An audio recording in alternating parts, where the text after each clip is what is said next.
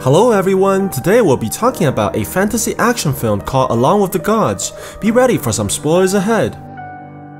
Somewhere in the population center of Korea, a large building is burning in flames while a firefighter named Han jumps out from the building trying to save a civilian's life. His robe is burned by the raging heat, causing him to fall quickly onto the ground without landing on the safety cushion. His entire life flashes before his eyes, but surprisingly, the man is able to wake up after saving the little girl from being killed. He gets up and rushes towards the girl's family, trying to see if the victim is hurt, but no matter how hard he talks, no one seems to be responding. Suddenly, he hears a voice calling his name from afar and sees two people in suits smiling towards him amidst the chaos. Han tries telling them to step away from the falling debris, but soon notices the firefighters trying to save a man who looks exactly like the main character himself.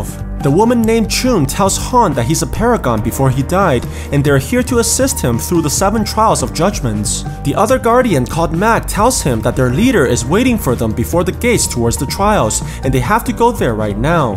Han has trouble taking all this information in and slowly walks away while looking at his comrades mourning over his dead body. He screams that he can't die right now as he wants to see his mother, but the man's body began levitating in the air towards the giant portal. Han continues shouting about seeing his mother, while the guardians are touched that he's so caring towards his parent even after death. They arrive in a different dimension where thousands of people are heading towards the gates of judgment, and Han meets the guardian leader called Rim, who's helped 47 souls to reincarnate in the past century. When the leader congratulates Han for being a paragon, the man looks away and declines, stating that he's not a good person at all. They enter through the gates of judgment, but are teleported to a nightmarish place full of lava called the Mountain of Murder. Mac is shocked to see their location and immediately questions Han if he's killed someone in his life, but the man denies having ever done something so terrible. Rim explains that causing someone's death indirectly through inaction is also judged by the trials, which may be the reason why they're here.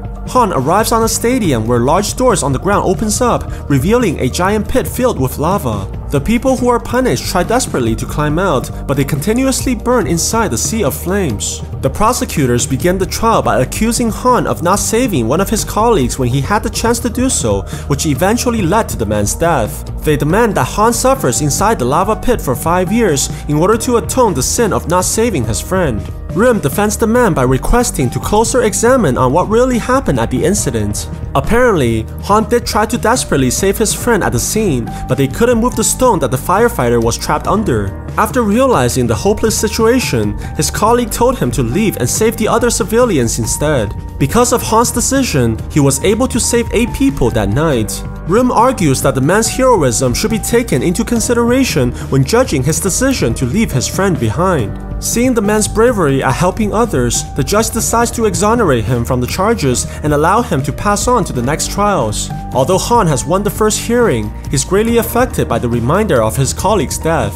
He demands to know why the Guardians are helping him as he doesn't believe himself to be a paragon. It turns out that the Guardians have their own agendas as they made a deal with the King of Hell who's called Yomra. If the three are able to help 49 souls to go through the trials and reincarnate within the century, they can also become humans as well.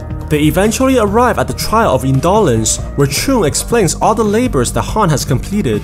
The man has never been lazy throughout his life and always helped others no matter where he went. This even means knocking over a beehive and subjecting his whole team to terrible stings, or rescuing some grumpy cat on the edge of a building and breaking the owner's Lamborghini with his head.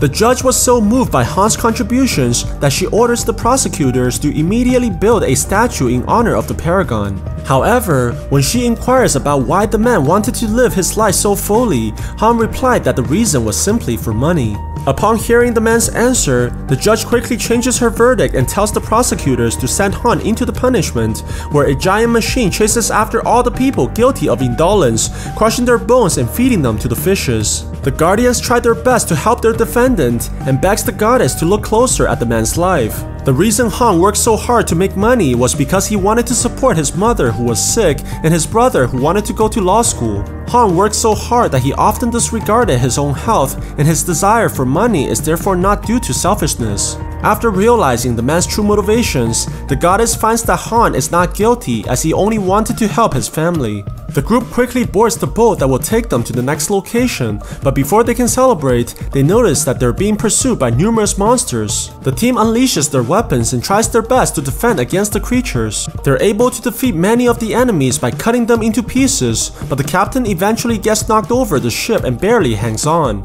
Mac is forced to defend the ship all by himself while giving his leader the chance to recover. In the final moment, Mac strikes a large stone pillar that causes the rocks to fall, finally saving them from the monster's pursuit. The man explains that this can only happen because the family of Han has died and became a vengeful spirit. In order to stop other monsters from pursuing them in the future, Rim decides to visit Han's family in order to find out the truth about what happened. He goes to Han's residence and notices that the mother is clearly alive. This can only mean that it was the brother Su who died and turned into a vengeful spirit. The evil aura tries to run away while the guardian chases closely behind. Rim tries to stop the spirit by catching and using his weapon, but the ghost manages to avoid the attacks from behind. The two eventually clashes together and knocks the Guardian away, allowing the spirit to disappear as Rim looks desperately for his prey. The Guardian follows the trail to a military base where he noticed the soldiers talking about Su and referring to him as a deserter. What's even more curious is that the captain and one of his fellow soldiers is clearly hiding something. Rim disguises as a colonel of the army and proceeds to question the captain about Su, accusing him of killing the man. Surprisingly, the captain begins blackmailing the Guardian out of fear, which further confirms that he's responsible for the brother's death. On the other side, Han is being questioned by the goddess of deceit and accused of writing numerous false wills and testaments for his colleague, which he failed to save earlier. He gave these writings to the man's daughter, lying to her by pretending to be the girl's father. The goddess immediately orders the man to be tied up and prepares to punish him by cutting off his tongue.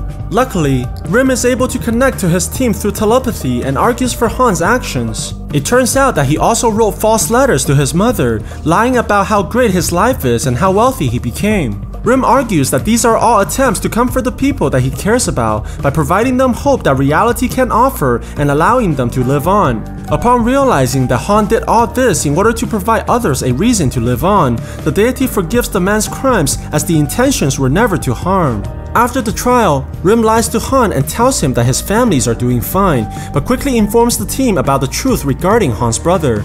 Rim goes back in time to see what really happened on the night of Su's death and realizes that his comrade Don shot the man by accident after switching off the safety. Don called their captain right away, and instead of trying to save the dying man, the soldier decides to bury Su and hide the evidence so that his promotion would not be soiled. Rim looks at the body of Su and realizes in shock that the man was actually not dead, forcing him to remember the memories from his past where his father was also buried alive. At the same time, Han has arrived in the Hell of Where the people are frozen for years in order to pay for their crime of not helping others. Thankfully, Han's profession as a firefighter means that he'll not be judged here, but instead be allowed to move on to the next location. During the ride inside the cable car, it's revealed that the Guardians all have their memories erased except for their leader, Rim. Mac tries to stop his teammate from revealing any more about their limitations, but accidentally informs Han that his brother is in fact the vengeful spirit. Upon realizing the truth, the man's unstable psyche shakes the entire realm and breaks the cable car, nearly dropping his guardians below. But Han is able to pull himself together in the last moment and offers to help his teammates. The three eventually arrives in the hell of betrayal, where a beautiful goddess judges the people who betray their loved ones by trapping them in a mirror and shattering the victims. Luckily, Han was a paragon in his lifetime and did not betray anyone, allowing him to move on safely from this location as well. At the same time, Rim is able to find the vengeful spirit in the nightclub where he's trying to kill one of the soldiers who buried him alive. The Guardian chases after Su right away, and they fight continuously in the air while flying through the city. Rim is able to capture the spirit by setting a trap and tying him onto the building using a magical rope. The Guardian tells the spirit that he needs to forgive his killers in order to be reborn or else he'll be destroyed forever. But this only served to remind Su about how he was buried alive and betrayed by his best friends, causing him to scream in rage and break free by creating a massive shockwave. On the other side, after drinking numerous amounts of alcohol, Dong has decided to give the location of the body to Su's mother, unable to bear the guilt any longer. The woman opens the map and finally sees the location of his youngest son, while Su watches everything from behind his mother. The vengeful spirit goes to Rim and tells the Guardian that he has decided to forgive Don after seeing the soldier's guilt and how the location of the body was given to the mother. Su begs the Guardian to act like a medium so that he may talk to Don for the last time, promising that he'll go through the trials afterwards. The spirit talks through the man and tells the soldier that he forgives him and to not waste any more new tears on something from the past. Meanwhile, Hong has reached the hell of violence and sees a giant hole in which he must jump in in order to reach the trials. The man falls into the massive opening and crashes into a giant rock, but Mac is able to catch his teammate and land beside Han. However, Han slides towards the two and knocks them over by accident, causing them to free fall once again towards the bottom of the pit. Mac rushes towards the two while Han is able to grab the girl and tries to save her from the crash just like before he died. Surprisingly, their fall is quickly stopped at the last moment after reaching the bottom. The trial of violence begins and the prosecutors accuse Han of beating up his brother in high school. School, this action was especially unforgivable as the young boy was suffering from malnutrition due to how poor the family was at the time. In fact, Han never sought out forgiveness after the fight as he ran off away from his family the very next day and never went home ever since. The judge decides quickly that the man is guilty of violence towards his own family and plans to send him into a pit where people are constantly hit by rocks as punishment. Seeing that Han is about to be sentenced, Chun quickly demands the judge to hold off the conviction and look at the final trial together with the current one as they're closely related. This play is very risky as it requires the Guardians to forfeit their powers in the afterlife if Han was found to be guilty on the next trial.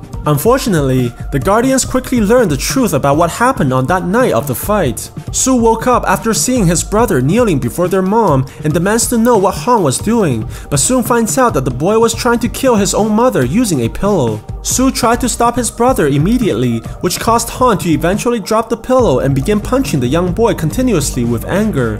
It turns out that Han felt very hopeless at the time of his life as their family was so poor and his mother was gravely ill. The only way he believed that can end their suffering was through death and nothing else. This is also why he felt extremely guilty afterwards and ran away from home, never returning to his family ever again. After hearing this, the Guardians become hopeless as they realize that there is no way they can win the trials now, especially in the final hell of filial impiety. At the same time, Rim is trying to bring Su towards his body so that the spirit can finally begin the journey towards reincarnation as well. When they arrive at the military camp, Su is surprised to see that his mother is here, begging the soldiers to bring her to her son's body. The captain of the army sees this and rushes towards the woman, ripping her sides into pieces and pushing her onto the ground, causing her to faint in the exertion. Su sees that his mother is being attacked by his killer and becomes engulfed in rage, quickly turning into the vengeful spirit that he was before. He breaks free from the restraints and grabs onto the Guardian, throwing the man away using tremendous force. Su's fury becomes so intense that he turns into a giant tornado, engulfing all the soldiers in the area and opening a gateway towards the afterlife itself. The vengeful spirit tosses everything around and creating massive chaos, while Rim tries desperately to save all the people from being killed. Luckily, Mac is able to charge into the living world through the portal and launches at Su, breaking away the giant statue and stunning the enemy. Rim takes the chance and charges in as well, capturing Su using a magical robe and finally putting a stop to the rampage. Meanwhile, the trial of Han begins at the other end as King Yomra himself decides to be the judge for the case. The deity charges the man with attempting to murder his own mother and beating his brother in such a desperate time. The king also reveals that Han's mother actually knew about her son's attempt to kill her,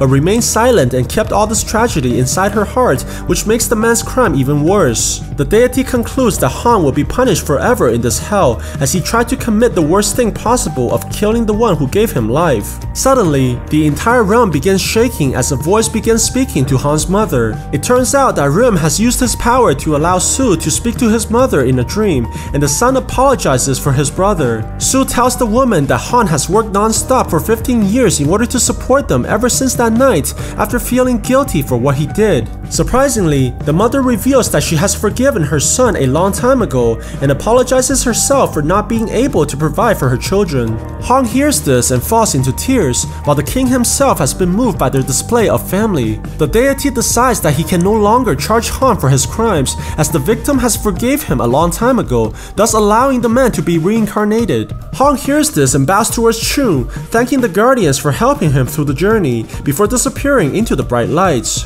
Back in the mortal realm, Rim has decided to bring Su as their 49th reincarnation, planning to achieve their deal for the king so that they can be reborn as well. The group arrives inside the hell of filial impiety in front of numerous demons and charges towards the enemies in order to open a way to the king of hell himself.